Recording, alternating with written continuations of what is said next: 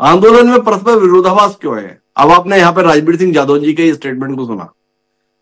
उन्होंने बताया कि भाई हम ये नहीं कर रहे। हम तो 16 तारीख को ग्रामीण भारत बंद का आह्वान कर रहे हैं।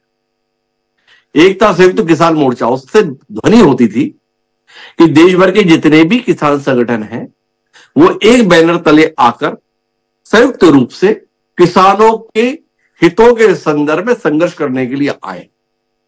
अब संयुक्त किसान मोर्चा, गैर राजनीतिक। इससे स्वरसे ध्वनित होता है, जो पहला वाला था, वो राजनीतिक था। अब गैर राजनीतिक हो गया। इस आंदोलन का आह्वान जो पंजाब से चलकर आ रहा है, उसका नाम दिया गया किसान मजदूर मोर्चा। तो आपसे जानना ही चाहता हूँ कि चल क्या रहा है। वाकई किसानों के हितों के संदर्भ में आंदोलन करने की कोशिश है, या किसान आंदोलन के माध्यम से अपनी राजनीति चमकाने की कोशिश होगी, आपको याद होगा।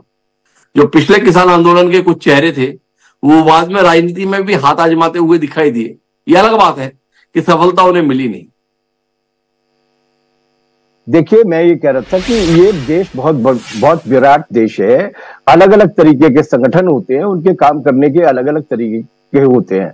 आप जिस बात पर ज़ोर दे रहे हैं, आप इस बात को भूल रहे हैं कि 378 दिन तक जो आंदोलन चला था, उस आंदोलन में ये जो संयुक्त किसान मजदूर मोर्चे का जो गठन हुआ है, उसके जो नेता है पंडेर साहब, वो संयुक्त किसान मोर्चे के कैंप के साथ नहीं बैठे थे। उनका कैंप अलग लगा था। तो अलग अलग तरीके की धाराओं के लोग हैं अलग अलग तरीके के मोर्चे हैं। सवाल ये कि मांग क्या उठा रहे हैं?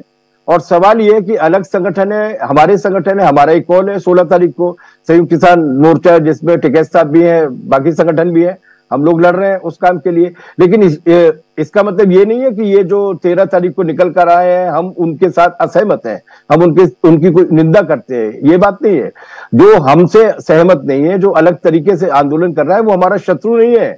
उन्हीं मांगों को लेकर जा रहा है। लेकिन अलग अलग मोर्चे हो सकते हैं अलग अलग लाइन हो सकती है। और अराजनीतिक कहना तो संयुक्त किसान मोर्चा स्वयं एक अराजनीतिक है। संयुक्त किसान मोर्चे के नाम से किसी ने चुनाव नहीं लड़ा। 520 संगठन है अलग अलग लोगों की राजनीतिक धाराएँ अलग अलग संयुक्त किसान मोर्चे ने कोई प्लेटफॉर्म खड़ा नहीं किया था। जो लोग चुनाव लड़े थे, राज्यपाल जी या दूसरे के लोग चढ़ूनी साहब ये लोग अपनी अपने राजनीतिक पार्टियों के नाम से लड़े थे, संयुक्त किसान मोर्चे के नाम से नहीं लड़े थे। इसलिए इसको राजनीति के साथ गठबंध मत कीजिए, ये कॉमन इशू है, इस कॉमन इशू पर